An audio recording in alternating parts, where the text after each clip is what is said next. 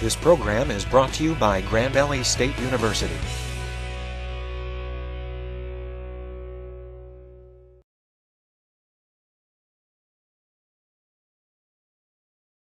I think it was some liar who told me that the Meadows was an easy golf course. I'm not sure who that was, but thanks, uh, thanks for having me here today. Actually, uh, talk a little bit about leadership.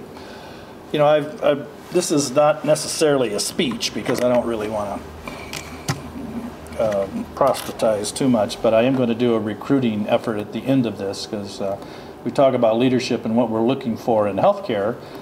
Uh, obviously, we're looking for a lot of good people. And so you'll hear me sort of, uh, that's sort of a string through what I'm talking about and, and, what we're trying to do. And what I want to try to do today is reference a little bit about uh, some of the qualities that I see in leadership and things that we look for in people as we hire them. And then also, uh, you know, we'll have time for questions if you have anything of things that we're trying to do or things that uh, we haven't done. You know, one of the things uh, that was mentioned in my introduction uh, that I am a Hawkeye, and uh, my wife and I both uh, really try to give back to the universities we attend. We have a scholarship that we give to graduate students who want to pursue a career in not-for-profit healthcare, which is something that's kind of near and dear to my heart. And so, uh, even though I've been here for seven plus years now, and uh, seen all the success of what's going on in this community. Um, I'm sure my roots are always back in Iowa City. I don't talk a whole lot about it now because their football team is terrible, their basketball team is pathetic, and uh, wrestling team is good though. That's the only thing I think that we can talk about. But, but uh, I've been doing this uh, healthcare gig for over actually 33 years. Wow, I didn't think I was that old, but. Um, started right out of undergraduate school. You know, I was kind of a green kid, didn't know much. I knew I was going to go to grad school, didn't exactly know what I wanted to do at that point. I know I didn't want to continue to go to school at that time. Remember, this was back in the late 60s, early 70s. There was sort of a lot of turmoil going on in the country at that point. Uh, and I had a high draft number, so I figured I was pretty safe at that point. But uh, I was married, and uh, decided to get into healthcare uh, really by accident. Uh, I always tell this story. It is true story that I had two job offers. One was in healthcare and one was in another industry altogether. And the only reason I picked the healthcare job is because my wife, uh, of some 33 years, is a radiology tech, or she used to be. And she had a job in a hospital, and if I worked in that hospital, we would only need one car. And so that's my tremendous vision and planning and how I got into healthcare to begin with. But it uh, really is sometimes by accident and pretty fortuitous. When you when I first got in there, I didn't know anything about healthcare. The only time I was in a hospital was when I was born, and I don't remember much about that to tell you the truth. So. It, I knew nothing about it. I thought it was nurses and docs, and I didn't think there was anything else. I didn't know anything about any other careers. And so I was in this huge, huge health complex in Peoria, Illinois. And um, I remember just walking in there and, and sort of looking around and trying to get an idea, and it took me about two or three years to try to figure out this is not a bad thing. There's a lot of opportunity here. You can do a lot in healthcare if you have, uh, I think, the right kind of educational credentials and the right kind of ambition. So it took me that long really to try to figure out this is what I wanted to do. But I've been at uh, Spectrum Health for seven years and worked in lots of other places. And actually, I think that's a positive. There are those who work in one place for 30 or 40 years. There's nothing wrong with that either. I always tell uh, students and others that I talk to that uh, there certainly is no one way in which you can advance your career. But getting exposure to multiple places, uh, even a stint down in Texas, which really isn't the real world, but the rest of it's in the Midwest, it really was, uh, was really good for me. I learned a lot. I uh, think I'm a lot better at leadership and management because of that. And uh, I think that uh, anyone who talks to me, we, we have a lot of conversations with students, and we certainly recruit a lot of people and hire a lot of people. We talk quite a bit about, you know, how do you advance your career and what is the best path. I'm not sure there is a single way to do it, but uh, getting exposure to lots of different organizations was really helpful to me. You know, at Spectrum Health, uh, I just have to correct a couple of numbers. Uh, 13,000, actually we have 14,500. Hate even saying that because it's probably higher than that right now. We have a lot of people. Healthcare is an incredibly labor intensive uh, organization and industry. We have a lot of people who lay hands on patients, but we have a lot of people outside of uh, patient care that most people aren't aware of. We have a place on 44th Street called our Service Center, Business Service Center, where we have over 500 people, do a lot of billing and scheduling. We have an IT building that we bought from Steelcase on 60th Street, we must have at least 300 people there who work in nothing but IT jobs. So there's a lot of opportunity all over the place. So we have uh, an awful lot of employees, and that number is going to continue to rise. Uh, Spectrum Health was created, uh, I won't give you a big history lesson here, but I think it's important in the context of some of the examples that I'm going to use for what leadership is all about. But Spectrum Health was created by some pretty visionary people in, in the mid 90s. They brought together a couple of warring factions. You had Blodgett Hospital and Butterworth Hospital, really hotly competitive, really didn't like each other very much. They came together in the mid 90s and what was something that from afar, because I wasn't here at the time, certainly I thought was amazing that they were able to be able to pull that off. And they did an incredible job of bringing together two organizations who didn't like each other and try to create a culture of inclusiveness and trying to get things moved forward. So that's how it was all started. And uh, as mentioned, we have seven hospitals across the West Michigan. We could have a lot more of those if we wanted to, but we really want to focus on uh, the seven that we have. We have a large health plan with Priority Health that we're the owner of as well. And so we're in both sides of that business. But you weren't here to give, uh, let me talk about uh, the advertisement for Spectrum Health. You're here to talk about leadership. And I really have eight items I want to talk about. The, the number could be a 100, but uh, actually after eight I kind of run out of juice, so that's as many as you're going to hear. But, uh, and I think uh, I don't know if we're going to have those yet. And I'm going to talk about each one just for a few minutes, but I think it's important to, in order to talk about leadership qualities, you got to have some sense of creating a vision. Essentially, where you're going to go. We call it a roadmap many times, but it's you have some idea of where you're going to go, and I'll talk about that in a couple minutes. And I think the second one is something that I really think is critically important, and that's uh, having some sense of business ethics. And I'll give you some examples from early in my career in which uh, I'm glad I turned out the way I did, but you know, you have tremendous opportunities to take different paths if you're not careful. And I think uh, the third one talks about daring and courage, and you have to be afraid, not afraid to take risk, not afraid to fail. And you've got to have some people who are willing to follow you. If you don't have that, you're not much of a leader.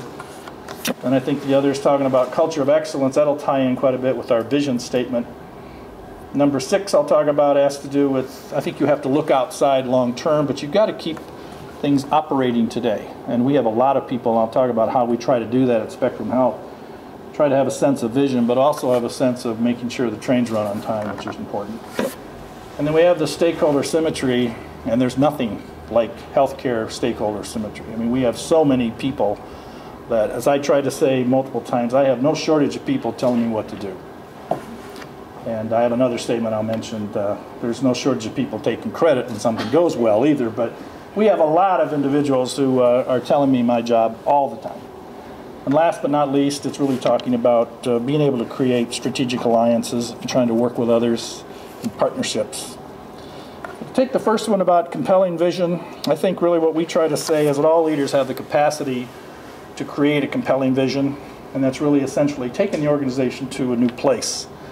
And I think the key here is you got to be able to translate this vision into reality. And really the way we do that at Spectrum Health is through strategic planning.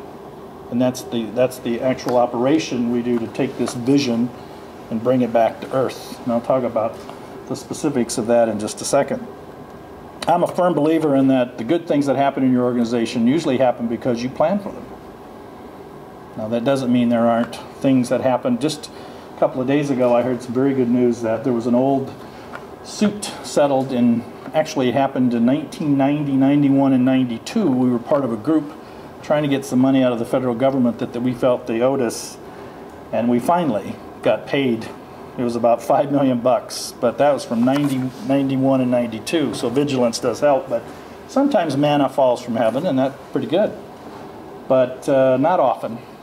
And I think the reverse of that is true. I think the bad things that happen within organizations happen many times because people don't plan for them. You're not prepared for those things that are going to be occurring. You're not flexible enough to deal with the changes that come along. I think the other thing that's important for leadership is they're going to have to have the strength to be vigilant and persist, even though you're going to hit roadblocks, you're going to get people who say you are a failure, you're going to have things that set you back, but I think your vigilance to move forward certainly exhibits leadership qualities. And I think the most important part here is how do you communicate your vision to people? We have 14,500 people. I'd like to say I know them all. I do not. Guarantee you I don't know them all. But one of my responsibilities is to set up with our board where we want to go as an organization. So how do you communicate that? Not only communicate it to 14,500 people, but do it in a way you can understand it. We're talking about people with severely advanced degrees, PhDs, et cetera, et cetera, all the way down to people who can't read or write. And so how do you communicate with that kind of diversity in a way they have an understanding of where you're trying to go? At Spectrum Health, I think you have to remember a little bit about, um, maybe you don't, but in 2000 when I came, the organization was three years into this merger. And really what they tried to do in those three years was just get the place to work. You know, we had to make sure patients were taken care of, bills were sent out, that we had enough people around. Uh, and there was an awful lot of work being done, and really good work, I think, in those three years to just make this new entity called Spectrum Health work. And that's what I think the first three years were about. When I came in 2000, it was pretty obvious that there was, let's say, a lack of direction. What we had is we had many directions. And when I would ask 15 people, what's our top priority, I'd get 15 different answers. And so we were going all over the place. We had a group of doctors who wanted to build an OB center. We wanted a heart center. We wanted a children's hospital. We wanted this. And then we had a health plan who wanted all sorts of things. So essentially what it was really almost a blind man could see it was that essentially what you had was you had an organization that didn't have a sense of vision. And it gets filled up. That void gets filled up by somebody. And what you have is a lot of power politics. You have a lot of people then trying to thrust whatever, whoever they could get as their significant supporters to move their agenda forward, whether it's the best thing or not. And that was sort of the environment that I uh, inherited. And so really it was very easy, I think, early on to try to at least get a sense of direction, try to develop that sense of direction. And one of the things that leaders have to do is you have to make decisions. And you have to make decisions and uh, not always be popular. And so when we created our vision in 2003, and essentially what it says is to be the nation's highest quality and most successful healthcare enterprise by 2010, I tell you, we got a lot of pushback on that one. We got a lot of pushback. People go, what do you mean we want to be the best? How do you know you are the best? How do you define it? I can remember media people asking me, what are you going to be, Mayo Clinic then? I mean, they didn't get it. They didn't get what we were talking about. What we were talking about is creating this culture within our organization that everything we do, we benchmark against the very best. That's how you become an organization that is the best. We used the whole issue of 2010. Had a lot of people that were talking about, oh my God, in September of 2010, you're you going to stand up and proclaim you are the best somehow? I said, no, that you're missing the point. Everybody is busy. We have everybody's job has 20 things that need to be done right now. If you don't put a sense of urgency in there, which is really what this date specific timeline was, you'll find that it gets pushed back and gets pushed back and gets pushed back. So essentially what we said is we want people to feel a sense of urgency. We feel by 2010 we want to have many things in place that moves us towards that goal of being the best. And that was the whole idea. We spent a lot of time on our planning document. I'm not a big one for having a big, thick strategic plan. In fact, I brought our strategic plan today. This is it. And actually, the only reason it's on a card this big is because my eyes aren't as good, and so I need a bigger card. It was on a smaller card.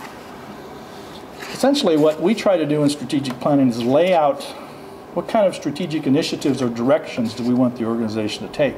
And from that, the various components of our organization then develop the various tactics to get that done. But people can remember this. They don't remember a book this thick. It's a good doorstop, and I've seen those used. Actually, used them myself as doorstops. They don't mean anything. They're not usable. You can't communicate anything to anybody if you have a document that thick. And so we stress often to have something that's simple and concise people can, can ascertain. Second one I want to talk about has to do with integrity. And uh, here the whole idea is that leaders got to be trustworthy. You got to be able to trust people. And you have to be. trustworthy. You know, your motives have got to be, I think, transparent. You've got to have honesty. I think leaders are asking people to follow them and accept risk. And if they don't feel comfortable that they can do that in a way that they're not somehow going to have, they don't have the confidence or the knowledge, skill, or ethical behavior to follow you, it's going to be problematic. You know, at Spectrum Health, we have a group of values, which are characteristics that we expect everybody to have. It's on that card that I just showed you. Those values, which consist of compassion, excellence, innovation, integrity, respect, teamwork, those are all good things. In fact, if you went to any healthcare organization, you would probably find similar words. But you need more than that. You know, you got to walk the walk, not just talk it. And the fact of the matter is, we have a lot of managerial people, a lot of leaders. I'd love to say every single one of them get it. I think the vast majority of them do, but not everybody does. So those are the ones that we have to continually work on. We have formalized structures to ensure ethical behavior. Having six or seven words and saying we want everybody to act like this is not enough.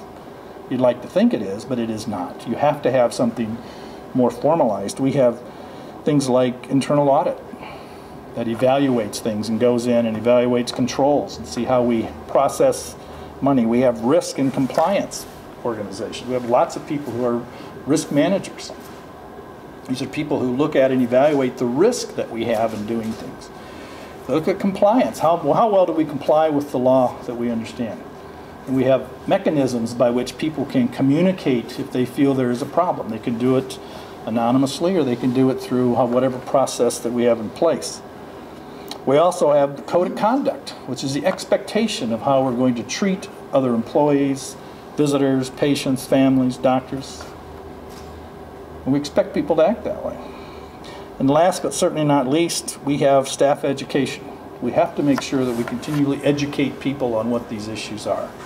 So we spend a lot of time in this whole area of, of ethical behavior. It's critically important for us. I can remember my first job in healthcare. I was, like I said, I was just a green kid, didn't know anything about hospitals. And this is a true example. One of the jobs I had, and I thought I was hot stuff, I used to buy equipment for nursing units.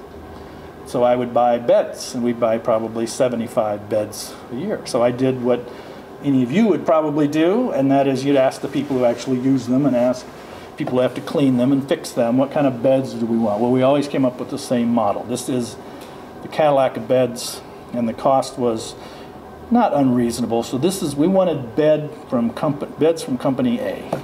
And so I would fill out all the appropriate forms. I'd send it down to purchasing and the beds would all come back from company B. And I thought, what the hell does this mean? I don't get it. I filled them out right. I asked all the right people. I went down and and we had this guy, kind of looked uh, like a combination of Wizard of Oz and only weighed about 350 pounds. He was the head of purchasing. It's the big old guy, not a bad guy, but just a, you know, he had his little fiefdom down there, and he was the head of purchasing. and he told me the reason that we always get beds from B instead of A is because he got a cut. He was very open about it. He said, I get money when we buy from and I thought, and I was, you know, you got to remember, I was like 21 or 22 years old. And this was my first exposure to this kind of stuff. And I thought, my God, I hope this isn't the way business is usually run. And, uh, but he was very blatant about it. He said his whole goal is to buy a Cadillac. This is how he's going to do it. So one of the things that you have as a student is that you'll be in these ethical dilemmas and you've got to ask the question, what do you do? Frankly, that's such an obvious example of something that did happen, but there's a lot more subtle examples of things that go all the time. And we spend a lot of time making sure within our organization that people are aware of that. And we have policies actually that talk about what sort of gifts can we accept from people. And I used to have a person that I really respected. He was a vice president, you know, and again, I was just out of graduate school and, and um, again, I thought I knew everything, but obviously didn't. But this guy was really a highly qualified, been in the business for 20 some years, and every year he used to go to Utah to go skiing with this company who sold heart catheters. And he just thought it was a great trip, and he said, "Oh, this is a great trip. We go out for a week, and they pay for everything, and it's really wonderful." I just thought, you know, it just doesn't smell right.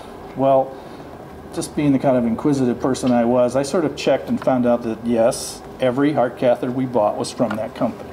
What a surprise. And so this guy just didn't get it. But you will find examples like that all the time. So how you deal with ethical dilemmas is really going to be, I think, a, a significant point of what kind of a leader you're going to be. Talk about uh, exhibiting daring and courage. You know, we sometimes in healthcare have to take some unexplored paths or things that that uh, we have to create that hasn't been created. I mean, we do that all the time. We'd like to be able to, to do the old tried and true things, but you know, the whole dynamic is changing so much and the industry is changing so much. There's so much out there that uh, is untested.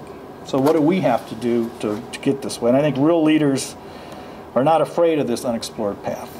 I think you talk about inspiration, of trying to get others to take risk and suspend their disbelief and really aren't discouraged by uh, adversity. You know, I always tell people that it doesn't take anything to manage when everything's going well.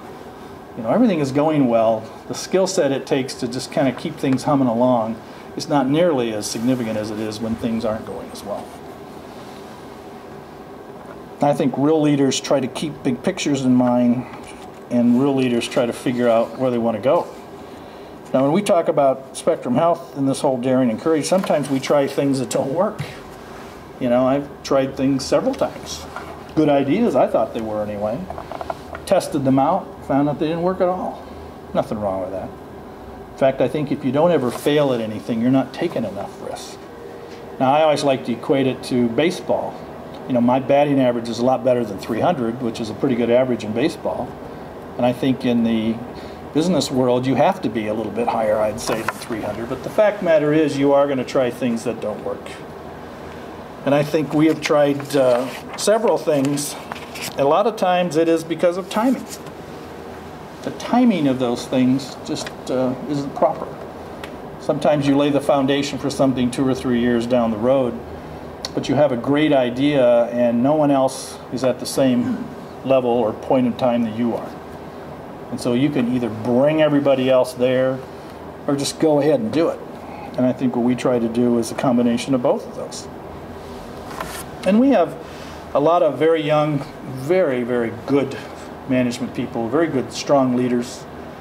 And, uh, you know, there's, I have an example of somebody who's really a, a star in the making, who her first board presentation was like an auctioneer. I never saw anybody talk so fast. And, you know, it's all good stuff all the material was really top notch, but I said afterwards, you know, it might be helpful, A, if you took a breath sort of sometime, and B, just pause so people could at least, you know, ask questions or at least sort of gather and soak in the information. Well, you only had to say it once. Next time, the next presentation was done exquisitely well. So the whole idea about just making sure that you have some of these people learning from their errors and being able to adjust is an another good uh, good point about leadership. I want to talk about uh, getting others to follow you. I, I, think the real key is there without followers, you don't have any leaders. And it's a good friend of mine who writes books. Uh, he wrote a book on followership. And I, I, said it's just a quick way to try to sell a book, I think. But, but really, in there, he was quoting some of the things that we're doing at Spectrum Health. It's the whole idea of just getting people brought along at the same pace that you are, trying to inspire others to embrace whatever it is you're trying to do. Uh, I think one of the things is that uh, he talked about, and I certainly agree with, is you know people work to the expectation you have of them. If you expect good things, they'll work up to that level. If you expect mediocrity, that's usually where they'll end up. And I think uh, when we talk about this at, in an industry like uh, healthcare, where Spectrum Health resides, is that think of all the change that's going on. You know, I tell people when they talk about getting care today, I said I wouldn't want to be cared for with 1975 medicine. I wouldn't even want to be cared for with 1995 medicine. Things have advanced so much so quickly. If you think about advances in the science and how people are looking and identifying disease and treating it. Look at the technology, things that are being built, things that they'll be able to see inside of you and outside of you that uh, are non-invasive. There's all sorts of things. As you, for those of you who are young enough, you'll you'll get to appreciate that when you reach the age of 50 and they talk about virtual colonoscopies. You'll find that uh, those things uh, you'll like that a lot. Trust me. But this whole therapy and things the way the way people are being treated, this this whole dynamic is changing so much. I get asked a lot by uh, people when we go through some of our agendas. They they all ask me, "How do you sleep at night?" And I, I give them the usual quip about, "Well, drugs are wonderful, but that's that's not how it's done." Actually, you sleep a lot because you have other good leaders within the organization. You have a myriad of people who are who feel responsible for whatever it is they are responsible for. You know, this delegation upward is not something that we adhere to. You need to have a huge cadre of leadership in an organization as complex as healthcare in order to make it work. We were just joking earlier, we don't close. We're open 24 7. You know, over the Christmas holiday, at any one time, we probably had 600 inpatients in our hospital beds. None of them wanted to be there, as you might imagine.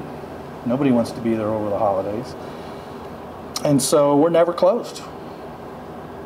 And so that presents other issues with that. If you look at um, what's happened to Spectrum Health over just the last 10 years since its inception, is that it was a $700 million organization back in 97. Today it's two and a half billion. And we think as we're doing our planning and projection in the next five years, that number will be closer to uh, $4.6 billion. In the next five years, we're looking to add around 3,000 people to the payroll. So when you ask me back in three years, I'll be able to talk about our 17,500 folks. But fact matter is, what we're looking for in our organization, we want not only people who inspire others, but we want people who are builders, because that's what we're going to need. Talk in terms of uh, over, uh, creating a culture of excellence. I think the issue here is what does that mean? When we're doing our vision, this whole idea is, is to create this culture. When we're talking about people, we're not only trying to inspire them to be the best, but we do a lot of benchmarking against the very best in the country. And in many instances, we set the bar. It's not we're trying to aspire to, we set that bar. In terms of our industry, mean, we're talking a lot about creating exceptional experiences. I know one of you was, was working in that whole arena there, trying to make every exposure that people have to Spectrum Health, whether it's in the hospitals or within the health plan, something that is a positive we want people to be part of a winning team. And I can't tell you how many people within this community, people that many of you would know, very public officials and people who have come to us and asked, how do I, I want to be employed by Spectrum Health. How can I hook on to you? And a lot of that has to do with, I think we're uh, an organization on the rise. Nobody in their careers gets excited about going, my God, I just got a job with a mediocre company. Nobody gets excited about that you get excited about success. And when we're talking about this culture of excellence, it was mentioned in my uh, introduction about 50 quality and safety awards. They're all nice. I mean, that, that makes people feel good because you get recognized for the things that you're doing. But if you look at the real numbers, the things that matter, when you get care there, it's your chance of getting better, better there than it is somewhere else. That's really what it comes. You don't want to walk in there and come out worse than you were when you came in. And by any metric you would use, and again, healthcare is not an exact science as many people would think, but you're going to be better off. And if you look at the metrics that we use to measure that against anybody in the country, they look pretty impressive. And part of that is this huge data collection, transparency, making sure that you have information. That whole push there is part of what we're trying to do in this whole area of, of making people understand this culture of excellence. And it gets people excited. People are excited about working in a place in which you set the bar high. Not everybody can lead in that type of organization. We have had many people leave, frankly, because they, they kind of like the old ways. I like living in my little bubble, and they feel very uncomfortable when being pushed to try to be better. And that's okay. They, I mean, there's certainly nothing wrong with them, but that's not the type of person that we're looking to recruit. The uh, sixth one I have is talking about long view, but understanding the importance of now. I think the important thing about that is that leaders have to be patient. I mean, vision requires change, and change uh, takes time.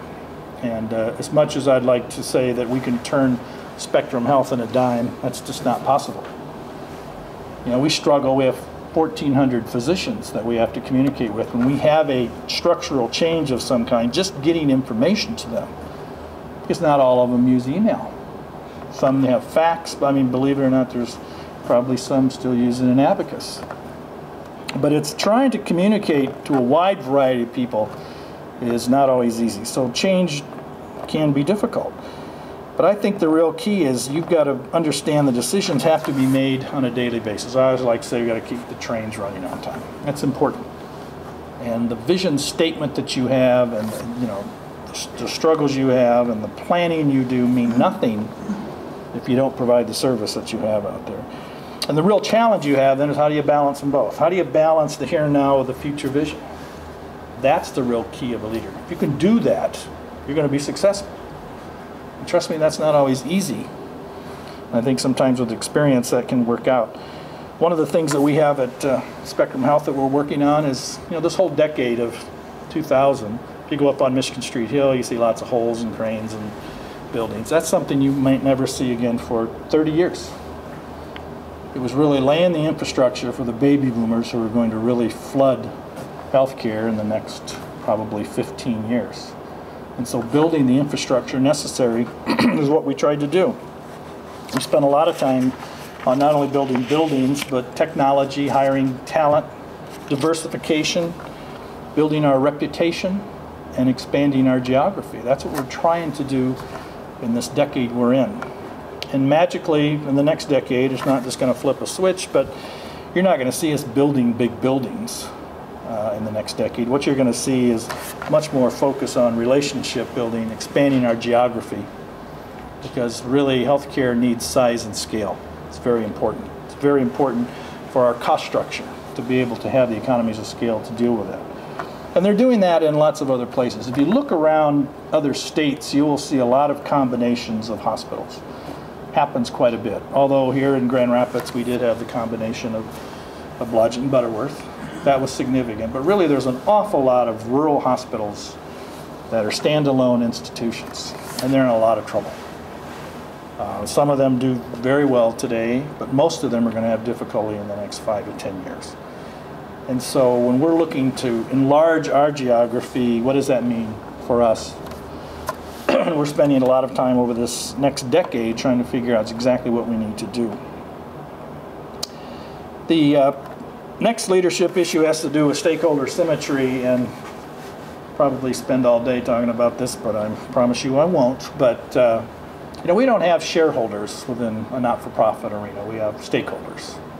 We don't have our owners don't have a piece of the pie like if you're a uh, shareholder in a, in a for-profit company. But we have to be accountable for our actions, and every decision that we make is influenced by this group of shareholders, and that is a long, long list. And the real key for leadership is balancing the interest of the shareholders or the stakeholders, whichever you want to call them, while advancing your organizational vision. If you look at uh, healthcare, in particular Spectrum Health, people that we have that are stakeholders include the culture of the community we're in, the public, the board of directors that I report to. We have physicians, donors who give us money, staff, probably not unlike universities in many ways. A wide variety of people. We have our own employees, we have other local healthcare providers, the government, insurance, media, public, and the list goes on and on and on we have a, tremendous number of people, like I said, uh, willing to tell me what to do. That's not a shortage. And I think probably one of the most important things, if I say anything that you remember today, is that leadership, you have to be comfortable with making decisions without 100% of the information and without 100% consensus. Because frankly, if you need to have those, you're going to struggle. Because if I had to have 100% consensus or 100% of the information available before I made a decision, I would never make a decision. And it comes down to what's your comfort level in making a decision with partial data and also making sure that if you have 20 people, you may only have seven or eight who agree with you and the rest of them have their own agendas. And in particular in healthcare, I think that's probably more evident than a lot of. The last leadership uh, quality I want to mention talks about the alliance and partnership issue. I think in some industries, obviously, they think on a global basis because their constituency is the entire globe. Healthcare, even though in some fringe areas is moving that way, most of it is a very local industry. It is not a global industry.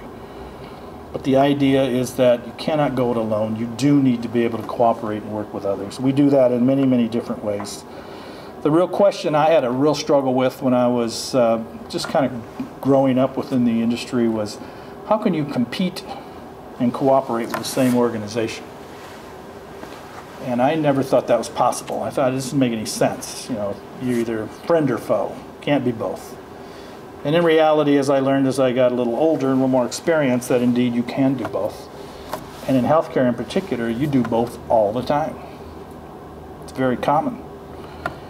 And so we ask ourselves a question about what exactly is partnerships, what do they mean, and what's the difference between those and alliances and what they mean. But I think uh, we do a lot of work with our regional partners. We do a lot of work. Uh, we set up formalized mechanisms to work with community hospitals across West Michigan. We do that in the area of children's care. We do that in uh, just hospitals in general. We have lots of things like that. So really the whole idea is that we're going to have to continue to do that. And I think leadership, the successful leaders are those who can work with others. And sometimes uh, we don't always get accused of working with others well, but I think if you look at the track record, I think it speaks for itself. So let me just end by saying that healthcare is a tremendously complex industry. It's going to get more complex as we go. The need for good to great managers, leaders who are flexible is going to be critical.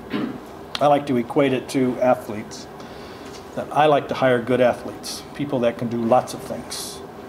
Because frankly, when I was talking to a group of managers a few months ago, saying in, in probably five to seven years, half of their jobs will have changed into different titles. We have within the healthcare industry over, I, I'm sure, at least 250 different titles that go on. I had lunch with a group of, I, I do this periodically with employees. It's a very good thing for me to sort of get unfiltered comments from people.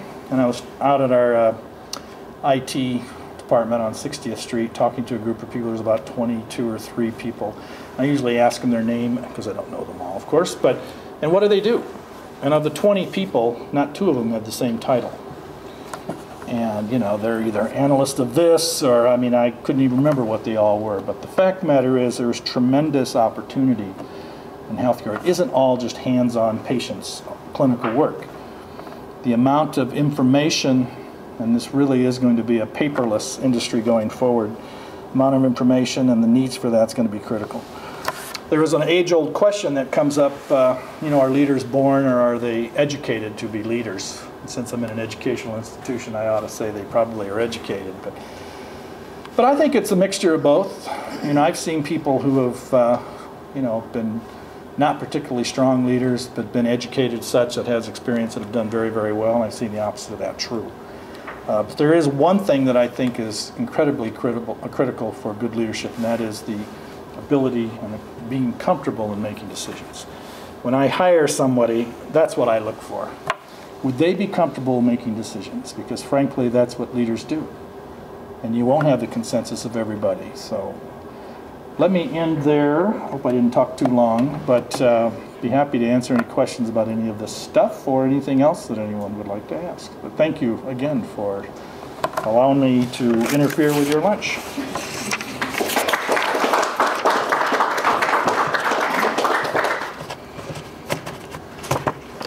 Yes, sir. You, you mentioned the term good to great leaders. Um, and I know Jim Collins wrote a whole chapter in this book, Good to Great, about level five leadership. Mhm. Uh, he, mentions a lot of different qualities, including uh, great competence and humility. Uh, but he focuses also in particular on um, a leader's willingness to admit when he doesn't know all the answers and his ability to inspire others to lead. Um, how important is that to, to leadership in healthcare and other industries? but Being able to inspire others, not just to follow, but also to lead. No, I think uh, I think it's that's what allows me to sleep at night. I think it's critical. Uh, you know, I think probably one of the best attributes of any leader is hiring good people. And uh, you can tell a lot about organizations by who they hire. And uh, I always believed in hiring the best, and I know I have many, many people a lot smarter than I am. And I like a mixture of people around. I like people who aren't all from the same ilk. You know, I was very traditional. I went to graduate school, I worked in a entry-level management position, then I was a VP, and I sort of worked up that ladder. But we have a lot of other people who have very diverse backgrounds, some that are not healthcare related. You know, our HR person came from industry, Dow Chemical, never worked in a hospital in his life. And so I think what you need, what I feel good about, I'll just give you a personal exposure, is that I think having that kind of diversity around the table makes for better decision making. You come at things differently, and uh, I think that makes a lot of sense. But uh, yeah, I think the idea of hiring the best you can get is important. But you know, I hate to say it, but not all my colleagues feel that way. A lot of times you feel threatened by having somebody who may be smarter than you and uh, who may be more ambitious. And I see that in some of my peers. It's not uncommon. I'd stay away from those organizations. They'd be very limited about your growth, especially if you have ambition and talent.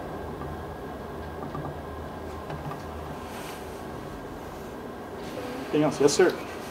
Spectrum Health is doing a tremendous job. Many people come here for different reasons and we really appreciate what you're doing.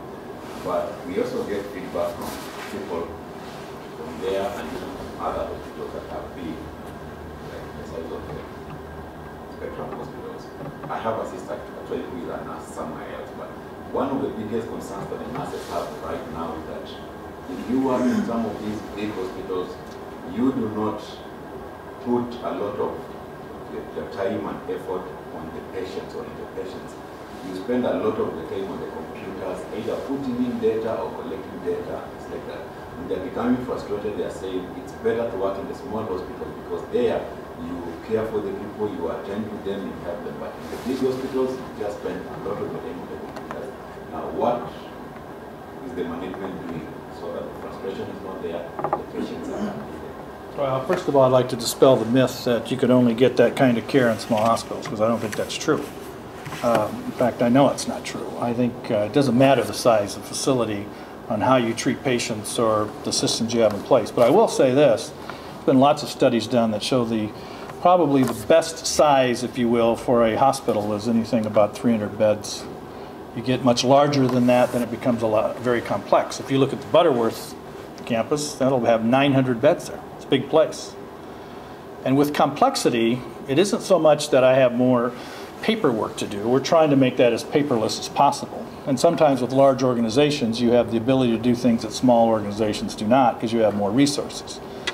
But there is always a fear of, of the larger places. There's two things that I'm most concerned about in that. One is uh, corporate arrogance and corporate complacency. The arrogance is that, you know, we're a big place, we know better.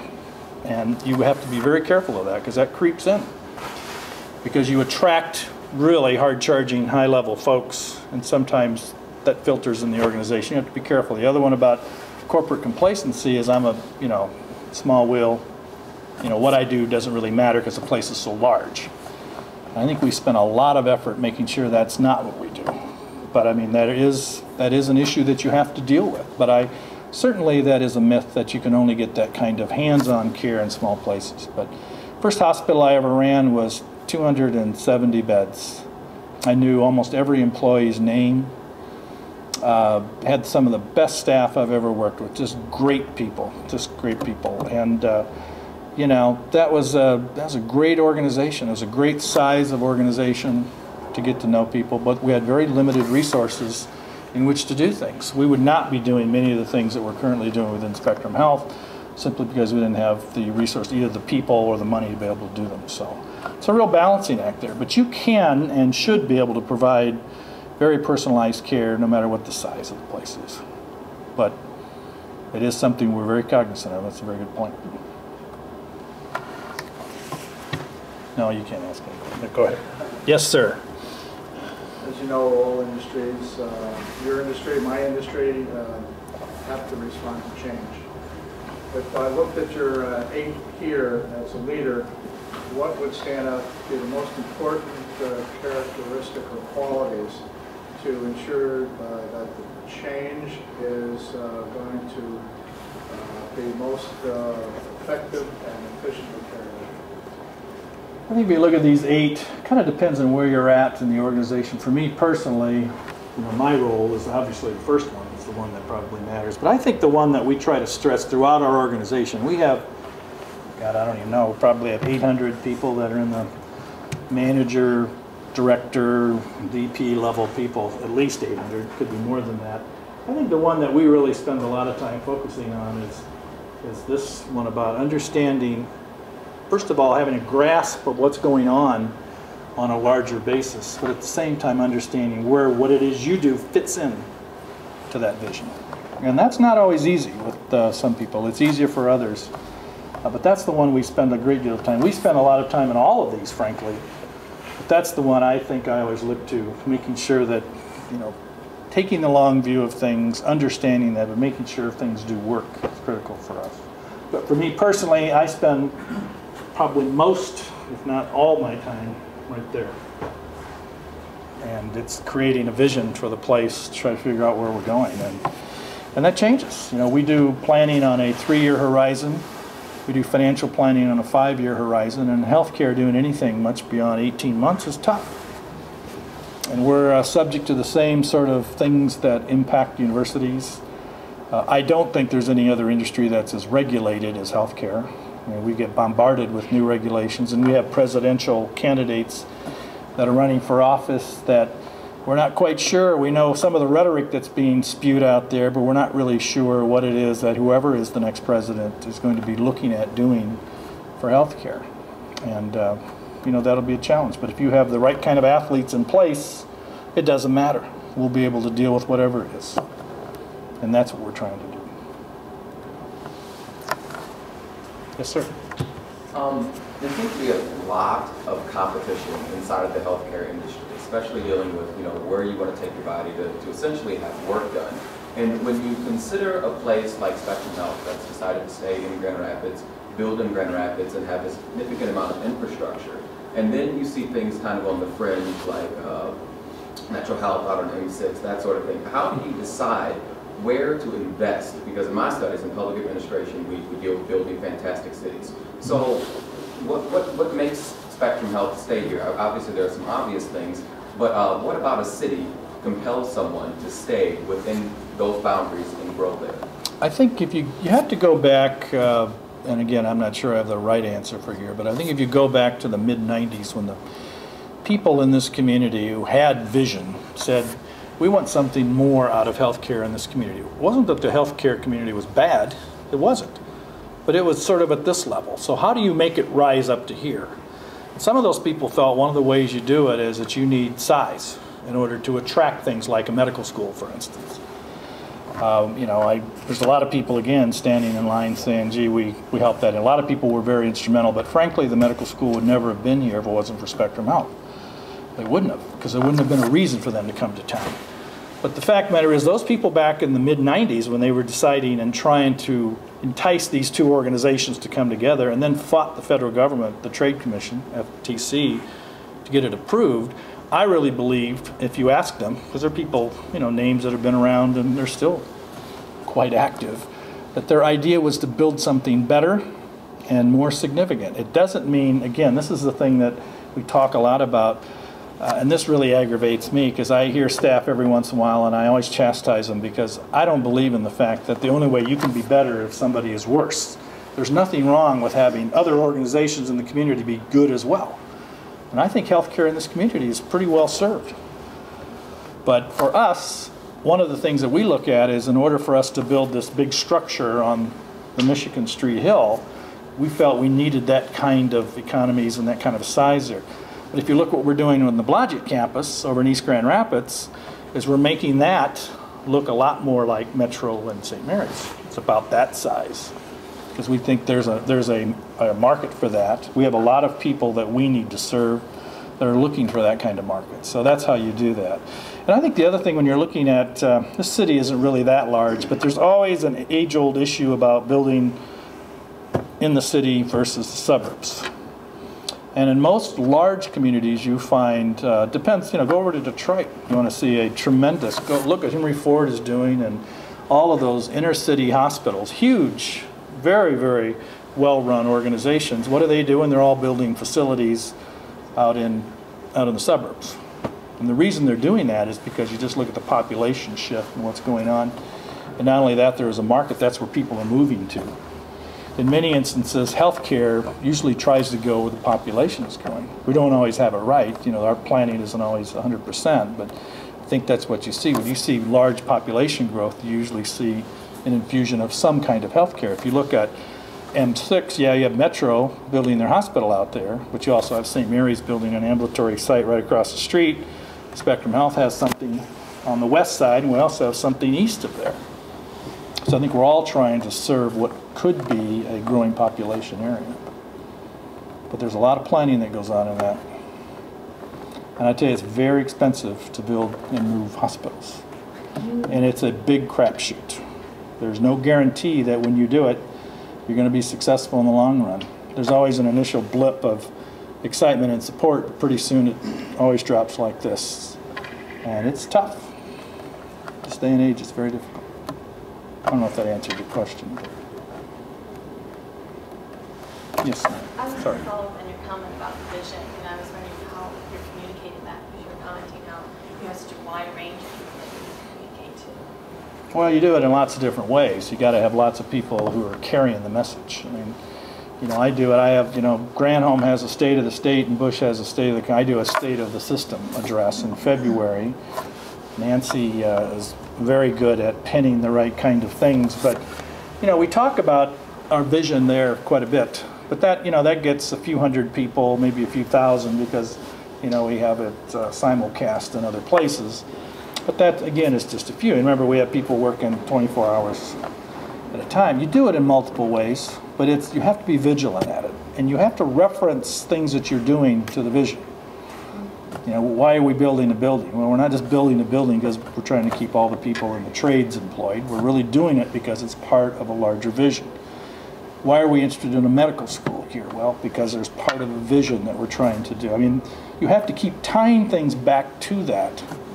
You know, why are we trying to spend so much time on having an exceptional experience for families and patients that come into our facilities? Well, because that goes back to the culture of excellence. That goes back to creating this vision. So keep trying to tie it in, and you're never done. There is no one way to proclaim it and say everybody's got it. I mean, I have trouble just getting information out to our board, and there's 13 of them. So, but I mean, it's it's hard, it's, and you got to just keep at it. And I was just going to comment for graduate students that we appreciate that Spectrum has participated past in our master's level focused uh, recruiting events, and we want to make sure that you all continue to do so, because if you are having more jobs coming up, I'm sure some of them will be the master's level students. We need good people, folks. There's, you know, if you look at our uh, executive staff, the average age is probably 48 to 62. I don't see any 30s in there, and I don't see very many 20s. That's not a good thing. And that's an area of focus for us. Feel it's important for us to have a continuation of success. You got to have that succession planning in place. So we're spending a lot of time focusing on that effort. And it's hard because actually what happens is we have a lot of really good people. We train them very well, and then someone will come in and take them and hire them somewhere else. You know, that just happens. I mean, there's nothing you can do about that. But that's something that uh, we're continually working on. Health insurance is a very critical thing in this country, and many people are making very critical decisions based on the availability of health insurance. A study was conducted by some a school in Denver, Colorado, and it showed that the University of Michigan, here in Ann Arbor, is providing one of the most comprehensive health insurance coverage to their students and faculty and staff members at one of the most inexpensive rates in the country. And because of that, they are recruiting some of the best faculty members and staff members and students because people want health insurance. Now, is there a possibility of Spectrum Health and Grand Valley State University partnering so that you may provide us with that kind of coverage so that you may help us and also recruit some of the best people in the country? You have to ask that guy, but we have, uh, yeah, we have insurance company Priority Health that insures lots of schools. But yeah, absolutely. I think those kind of, that goes back to this thing about partnerships. I mean, we're enjoying partnerships with GVSU in the area of nursing, nursing education. Yeah, I think the more we do in that area, it's a tremendous resource. Both organizations are tremendous resources. It's a very sound idea. As long as we have a health insurance system that we have in this country, and I don't care who gets elected, you're going to continue to see it. It may be tweaked, but it'll still be there. Uh, we have a lot of people and a lot of things kind of fall through the cracks, and I think whatever it is that gets designed to try to fill in those cracks is going to be a real challenge. But yes, I would say absolutely. In fact, I could have our insurance people call uh, Tom anytime. I won't do that, but it is a good point. And I think, uh, you know, what they have, actually, University of Michigan had their own health plan until just recently, and they sold it to Blue Cross. So, um, not sure exactly what kind of plan they have. Well done. Thank you all again. The preceding program is copyrighted by Grand Valley State University. Visit us at gvsu.edu.